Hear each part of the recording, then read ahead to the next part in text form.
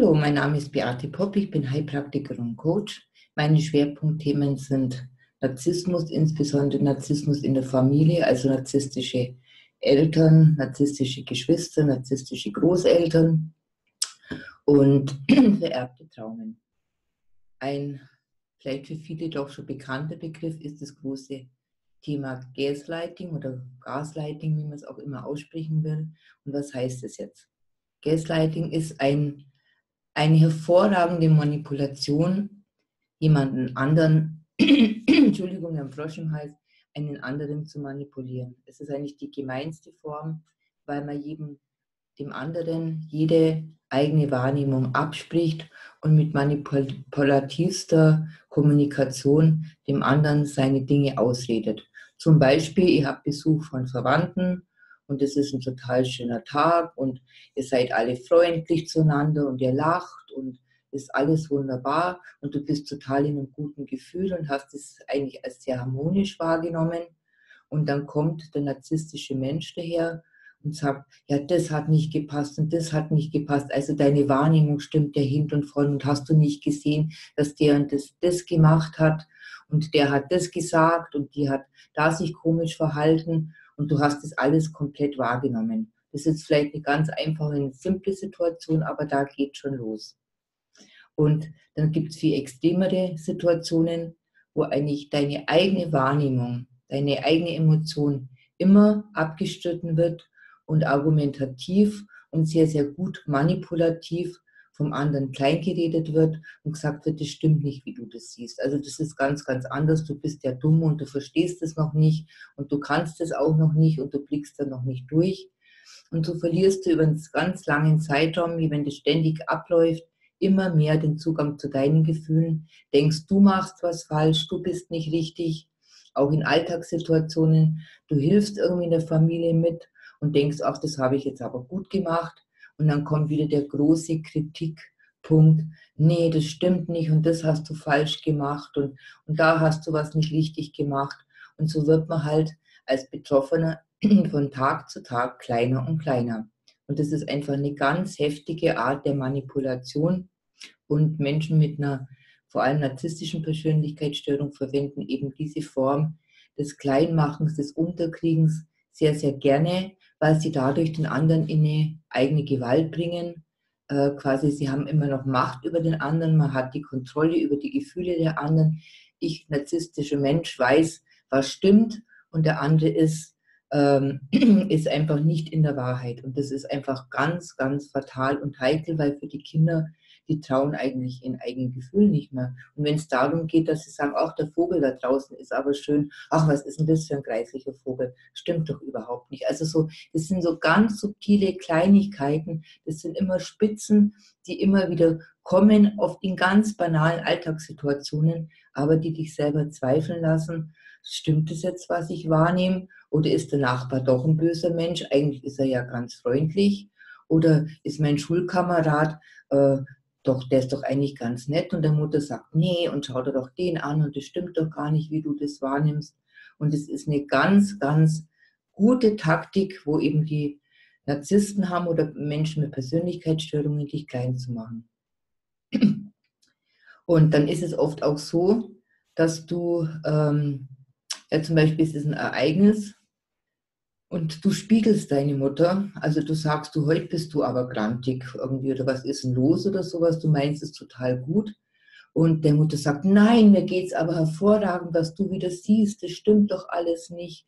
Und, und du nimmst es völlig falsch wahr. Und das ist so eine ganz dubiose Mischung, äh, wo wieder in den, in, in, in den Mechanismus geht, du traust deinen eigenen Gefühlen nicht.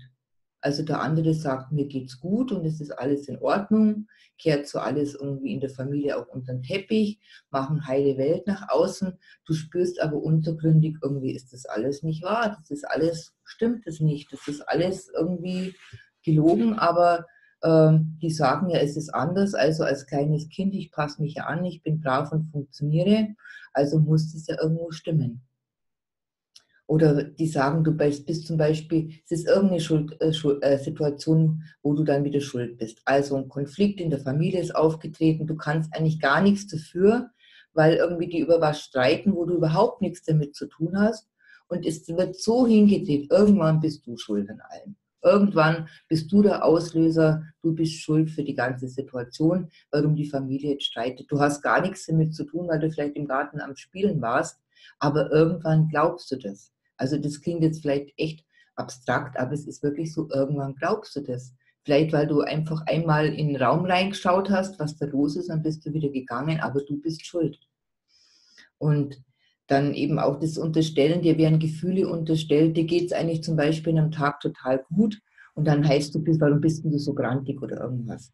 Also, oder auch umgekehrt, dir geht es an einem Tag nicht gut und dann heißt es, ach, du bist aber heute gut drauf oder du fühlst dich mal nicht gut und du sagst, ach, du bist aber heute lustig. Also total paradox, total komische Situationen, wo dir immer mehr diese Sicherheit genommen wird, du kannst auf deine eigenen Gefühle vertrauen. Ja, und dann kommt halt noch ein anderer Punkt dazu, zum Beispiel, dass deine Mutter so oder dein, dein narzisstischer Mensch, der Narzisst, dir äh, Sachen erzählt, die, der, die ein ganz Fremder gesagt hat. Zum Beispiel der Nachbar hat gesagt, du bist viel zu dick, du bist zu dünn, du bist zu blass, äh, du, du gehst komisch. Äh, da, da, hat jemand erzählt, du bist in der Schule schlecht oder du bist vorlaut. Und das stimmt alles nicht. Also es alles überhaupt entspricht nicht der Realität. Aber irgendwann wirst du das glauben, weil die Narzissten das mit so einer Überzeugungskraft erzählen, dass der Nachbar gesagt hat, du hast das angestellt oder du hast einen Ball in seinen Garten geschmissen und, und seine, seine Hasen verschreckt oder was auch immer, äh, was gar nicht stimmt.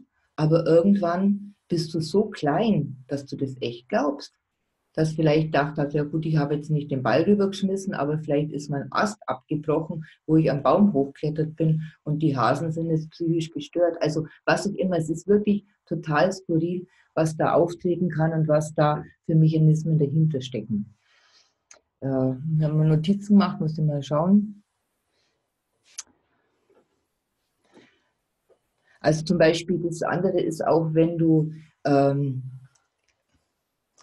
eben irgendeine Situation ansprichst, sagst, Mama, das war doch gar nicht oder so, äh, du kommst da nicht durch. Das wird so hingedreht, wie eben du bist schuld an einem Familienstreit, obwohl du im Garten warst.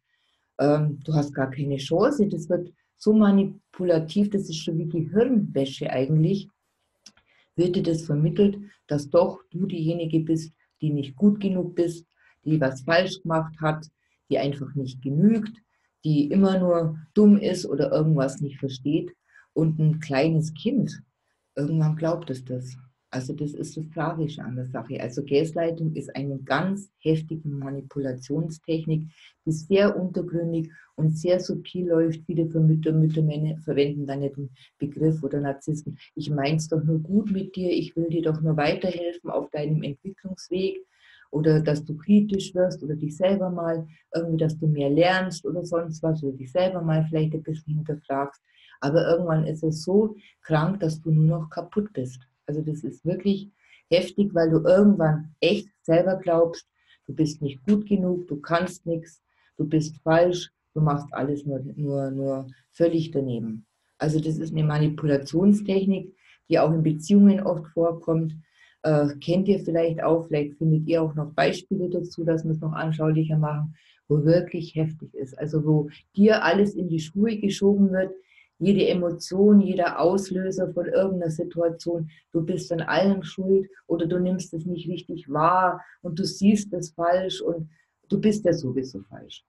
Also das war jetzt so ein bisschen ein Einblick in das Thema Gaslighting. Also es ist ein ganz, ganz heftiges Thema. Wenn ihr Beispiele habt, Schreibt es vielleicht in die Kommentare drunter, das ist mal ganz hilfreich für alle anderen. Und wirklich geht auf die Suche nach euren wahren identischen Gefühlen. Das ist so lohnenswert und das ist so ein wunderbarer Prozess, weil man kann irgendwann diese ganzen Glaubenssätze, diese Prägungen, die kann man hinterfragen und man kann sie dann wirklich aus der eigenen Seele rauswerfen.